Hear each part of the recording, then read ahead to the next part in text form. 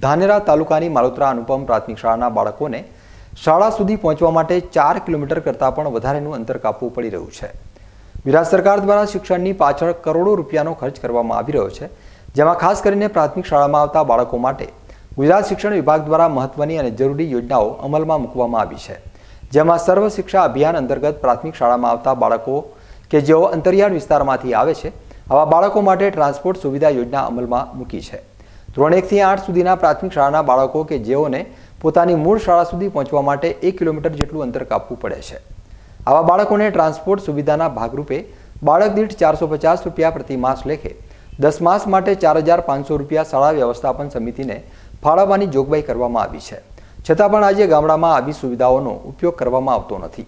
ધાનેરા તાલુકાની માલોત્રા અનુપમ શાળામાં એક કિલોમીટર નહીં, પણ ચાર કિલોમીટર કરતાં પણ વધારે દૂર અંતરિયાળ વિસ્તારમાંથી બાળકો પગે ચાલી શાળાએ આવી રહ્યા છે. માલોત્રા ગામથી શેરા ગામ તરફ જતા મુખ્ય માર્ગ ઉપર ભોકણ તળાવ વિસ્તારમાં આવેલો છે. આ વિસ્તાર માલોત્રા ગામથી ચાર કિલોમીટરના અંતરે આવેલો વિસ્તાર છે અને આ વિસ્તારમાંથી પચાસ જેટલા બાળકો ચાર કિલોમીટરનું અંતર સવાર સાંજ કાપી શિક્ષણ મેળવી રહ્યા છે. જેમાં ધોરણ એકથી લઈ ધોરણ દસ સુધીના બાળકો છે. શાળાએ આવવાનું હોય કે પછી શાળા પત્યા પછી ઘરે જવાનું હોય, બાળકોને દોઢ કલાક જેટલા સમય સુધી ચાલવું પડે છે. બાળકોના માતા પિતા સરકારમાં ચાલી રહેલી ટ્રાન્સપોર્ટ સુવિધાની માંગ કરી રહ્યા છે. માટે લગભગ છોકરા પચાસથી સાઠ છે છોકરા અમારે અને દૂર ઘણું પડે છે આ ચાર કિલોમીટર લો લોબેન પડે છે. અને જવાની ખૂબ તકલીફ પડે છે તે સરકાર કોઈ બી સુવિધા કરી આપે તો કરવી છે અમારે. કયો વિસ્તાર કે વિસ્તાર કે ભોકણ તળાવ છે ને શેરારે ને ભોકણ માલતરા ને વચમત છે. પચાસ સાઠ છોકરાથી હમ સિત્તેર છોકરા છે એવું સમજ અમારે કેમ કે લોબેન પડે ખૂબ.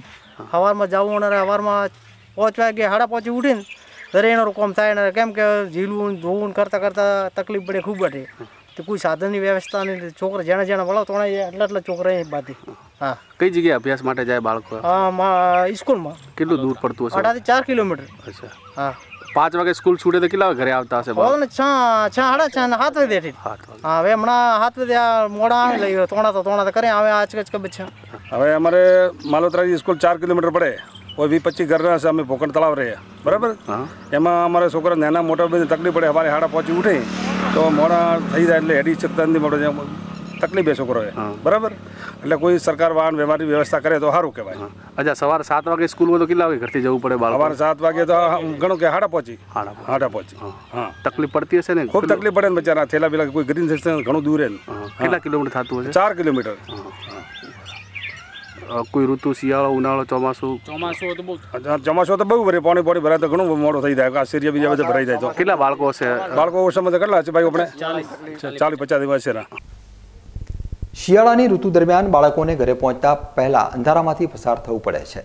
ધોરણ એકમાં અભ્યાસ કરતા નાના બાળકો ચાર કિલોમીટર સુધી ચાલતા ચાલતા થાકી પણ જાય છે. જ્યારે ઉનાળાની ગરમી અને ચોમાસા ઋતુમાં પડતા વરસાદથી આ કોમળ ફૂલ જેવા બાળકોને હેરાન થવું પડી રહ્યું છે. આ મામલે માલોત્રા પ્રાથમિક શાળાના પ્રિન્સિપાલનો સંપર્ક કરવામાં આવ્યો હતો. એક સાથે પચાસ જેટલા બાળકો રોજનું આઠ કિલોમીટરનું અંતર કાપી રહ્યા છે. તો આજ દિન સુધી ટ્રાન્સપોર્ટની સુવિધા કેમ ઉપલબ્ધ બનાવવામાં આવી નથી? સાહેબ કેટલા બાળકો અહીંયા અભ્યાસ કરે અને એક ભોકણ વિસ્તાર આવેલો હોય તમારા માળોતરામાં અમારી શાળામાં નવસો ને પાંચ રજિસ્ટર સંખ્યા છે આજે. આ ભોકણ બાજુથી નેવુંથી સો જેવા બાળકો અપડાઉન કરે છે. માત્ર ભોકણ નહીં બસો પંચોતેરથી ત્રણસો બાળકો અમારે મેળાની મેળાના રસ્તાથી વાલેરના રસ્તાથી જાડીની વાટથી અને થાવરની વાટથી સોતવાડાના રોડથી અહીંયા ત્રણસો જેવા બાળકો અપડાઉન કરે છે. એટલે સાહેબ એક યોજના હોય છે કંઈક સરકારી ટ્રાન્સપોર્ટેશનની તો આ લોકોનો કેમ સુવિધાનો લાભ હા ટ્રાન્સપોર્ટની સુવિધા છે ઘણા વર્ષોથી ચાલે છે.